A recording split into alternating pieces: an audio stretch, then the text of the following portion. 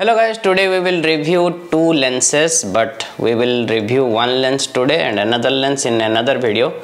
So this is the lens from Skyvik Signi 12mm fisheye lens and this one is Skyvik Signi 16mm.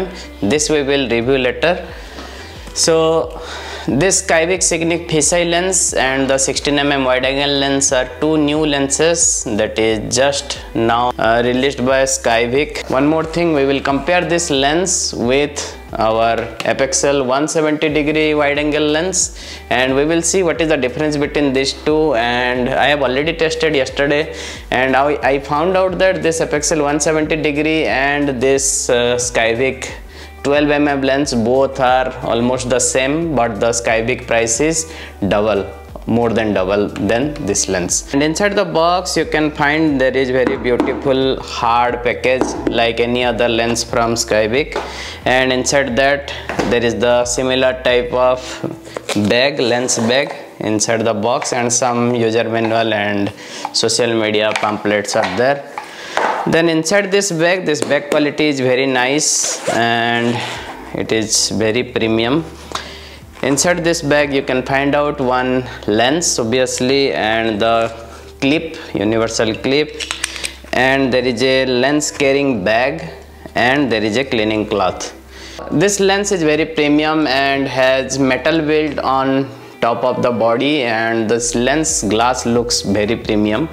It is covered by two caps front is one metal cap back another plastic cap. So two caps are there to protect this lens while carrying. Uh, this uh, universal clip is also very nice with the as usual Skyvik balanced clip where you can put this clip on top of any type of smartphones having camera bumps so it can able to adjust it accordingly. The Skyvik lens is compatible with almost any type of uh, cameras or phones except the cameras that are far from the top or far from the side like Poco X2. Also it is supported with its own case that is Signi case and currently I am using the Skyvik Signi case on my iPhone 12 Pro Max and this lens is also supported on top of get the case and use the lenses without the clips that is far better than using a clip. Let's go and try this lens outside then we will compare it. This is the output from this lens and as you can see the output of this lens is very nice and you can see the sides of this edges of this lens are clearly visible and there is no blurry edge problem unlike some some low quality lenses where you will get blurry edges problem where everything will be blurry only center will be in focus. But in this lens there is no such problem and you can find everything in the frame is clearly visible. So this is a very nice lens. Currently we are in photo mode and as you can see in photo mode as well the output is very nice. There is no blurry edge problem or anything. Everything is clearly visible. You can see all the edges. So there is no problem in this lens. Only problem is it is very expensive 4000 rupees. But uh, you will get similar type of output. Wait some time. I will show you the similar type of output. You will get less than half of this lens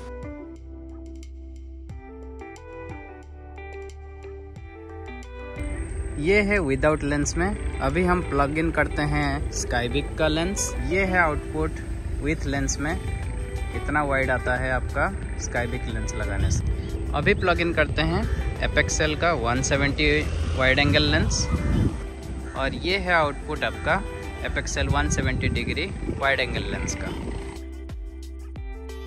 You can see from the sample shots that the Skyvik and Apexel gives the same type of output and same width of field of view. You have seen from the sample shots this lens is very nice but the only problem with this lens is the price. The price is very high. It is of no use buying a wide angular fisheye lens of 12 mm for 4000 rupees better to get the Apexel 170 uh, fisheye lens or wide angle lens you will get the similar type of effect without compromising any lens quality both the lens quality are same and our field of view of 170 degree is little bit less than the Skyvik one let me know in the comments below if you uh, go for the Skyvik or the Apexel 170 degree lens and I will see you in the next video. Thank you for watching.